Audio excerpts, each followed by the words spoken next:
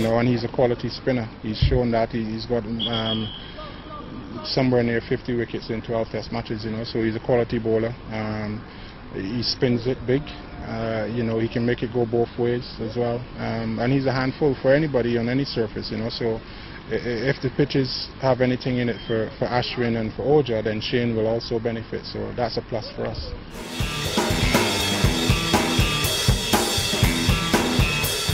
I don't know, probably, but I think I think in the next few years you will see you will see you know we don't have the six foot seven giants of, of Garner and, and, people like that, but you will see the emergence of some more fast bowlers. I saw Sheldon Cottrell.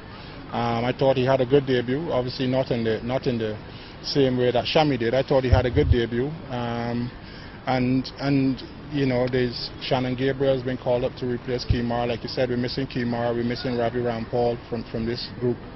Um, Jason Holder has made his debut in one day uh, international T20 cricket uh, and done very well, you know. So there, there, are a few more fast bowlers coming around, um, and I, I, expect that in the next few years, you know, all things things being equal, we'll be able to we'll be able to, to, to get back somewhere towards um, the, the, the four-prong pace attack of all. But at the same time, you know, when you come into India and you're playing at Calcutta uh, and the ball is bouncing twice to the keeper on the first day, then you have to you have to ask yourself, do you need to be playing four fast bowlers or play two quality spinners if you have those two quality spinners?